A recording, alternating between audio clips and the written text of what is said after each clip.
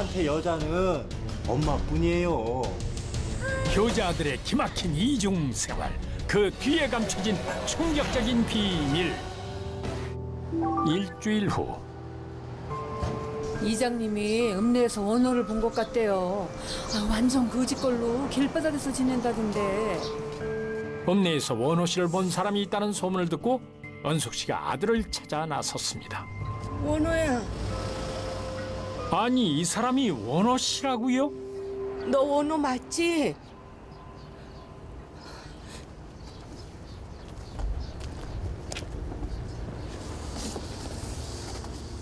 원호야, 아유, 너 왜 이러고 있어? 아이고, 어머. 아유, 저 집에 가자. 얼른 일어나. 내가 너 때문에 얼마나 찾았는데. 자, 얼른 일어나.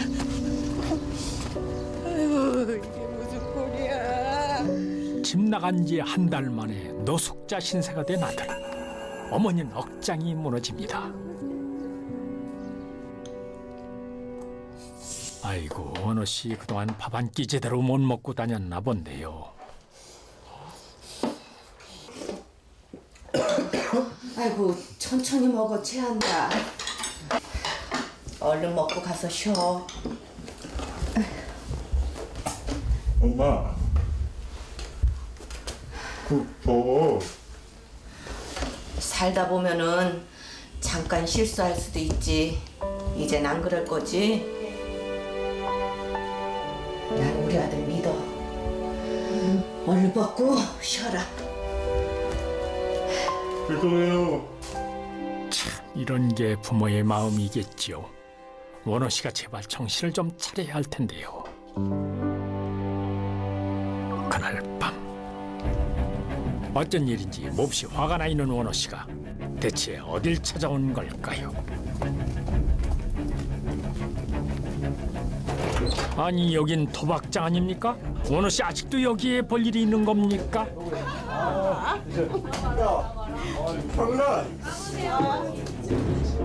그런데 다방주인 미란 씨가 도박장인 또 무슨 일이죠?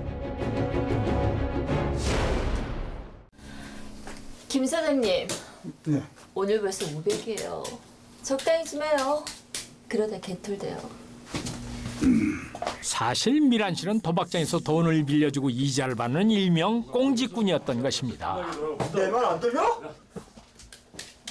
너 일로 나와. 일로 나와! 아 진짜, 아 이거 나, 아우 너 정말 1억이야? 내 돈 내놔, 5천만 원!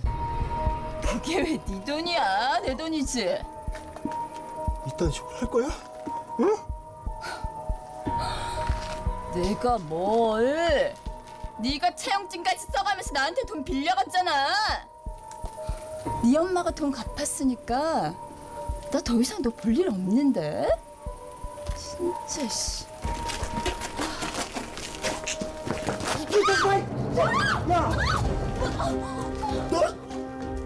내가 호구로 보이냐? 너 정말 죽을래? 내가 그돈 때문에 엄마한테 무슨 짓을 했는데 이너 이거 안 나? 나 잘못한 거 없어. 지금이라도 경찰서 가든가.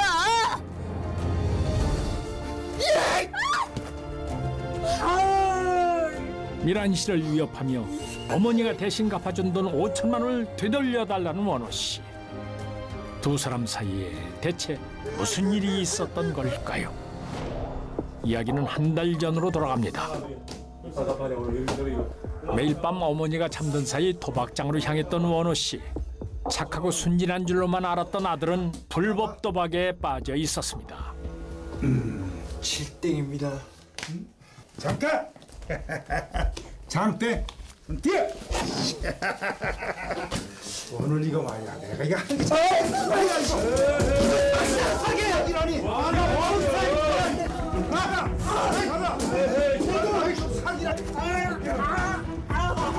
평생 모은 돈을 도박으로 날리고 행패를 부리던 원호 씨는 결국 흠씬 두들겨 맞고 도박장에서 쫓겨나게 됐습니다.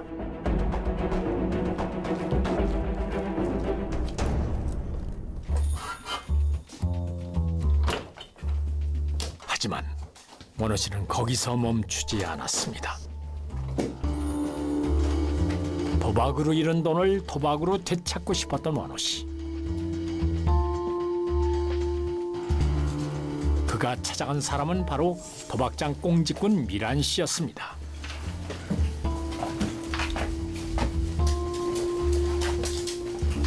미란 씨 여기서 돈 빌려주고 이자 10% 받죠.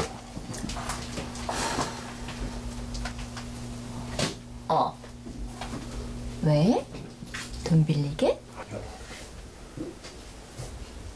제가 수수료 30%줄 테니까 나랑 일 하나 할래요. 뭔데?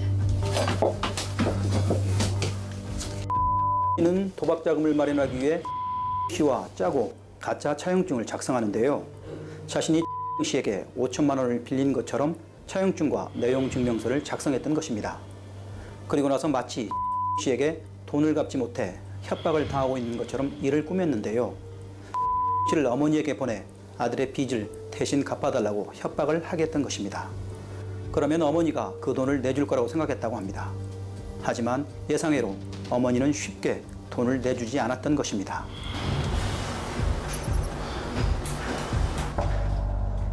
어머니 은숙 씨가 호락호락하지 않자 미란 씨는 원호 씨가 숨어 지내는 모텔을 찾아갔습니다. 이게 어떻게 됐어? 돈 받았어? 너네 엄마 완전 독해. 씨알도 안 먹힌다고. 자기 아들은 도박 같은 거 할 사람이 아니래.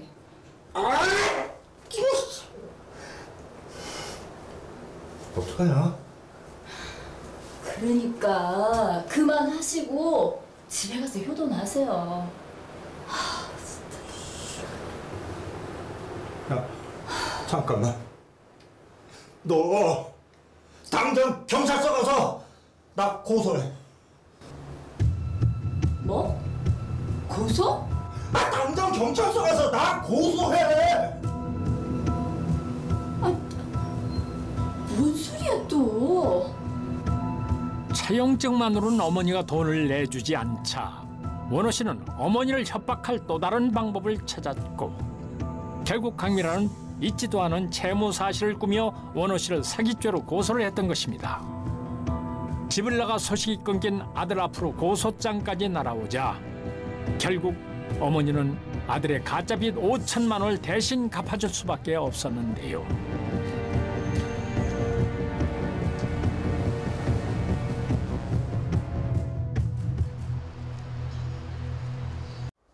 강미란이 돈을 가지고 오기만을 기다린 이원호. 여보세요? 야, 아, 너왜 이렇게 전화를 안 받아? 어. 바빴어. 너 우리 엄마한테 돈 받았지? 아, 빨리 가져와. 내가 왜? 그거 자기가 나한테 빌린 거잖아. 나 바빠서. 미안, 끊을게. 야, 야!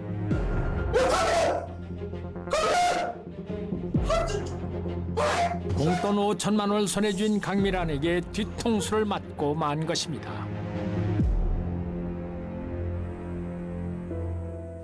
돈이 떨어져 여관방에 숨어 지낼 수도 없게 되자 이원호 씨는 그제야 집으로 향했습니다.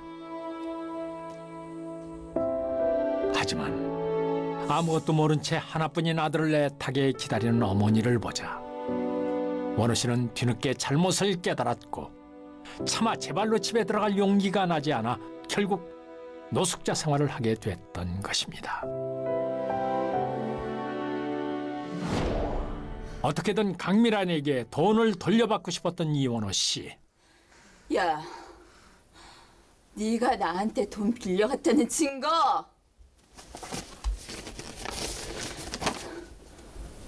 여기 있잖아. 어? 안 입고 오면 지금 경찰서 가든가. 미란아, 왜 그래? 그러지 말자. 어? 50% 반반 나누자 반반 어? 너 나한테 이렇게 와서 자꾸 행패 부리면 네 엄마한테 가서 전부 까발려 버릴 거야. 알았어? 이게 정말 아유 아유 아유 정말 차용증의 내용 증명까지 써줬던 는 서류상으로 꼼짝없이 채무자가 돼버린 것인데요. 는 돈을 끝까지 내놓지 않았습니다. 하지만 씨는 를 고소하기 위한 법적인 절차를 밟을 수가 없었어요. 문서를 위조해서 경찰서까지 왔다 갔다 한 점이 경찰의 공무집행방해와 사문서 위조 및 사규죄에 적용될 것 같다 두려웠던 것입니다.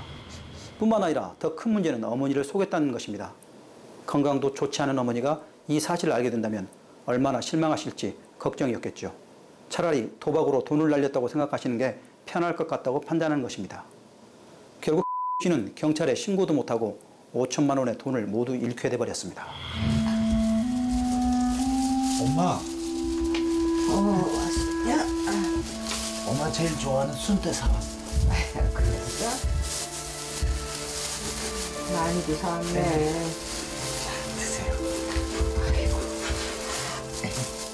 결국 진실을 밝히지도 돈을 되찾지도 못한 원호 씨. 비록 5천만 원이란 큰 돈을 잃게 됐지만 그만큼 깨달은 것이 있습니다. 어머니의 큰 사랑에 보답을 하기 위해 함께하는 마지막 순간까지 효도를 다해 갚아나가야 하겠지요.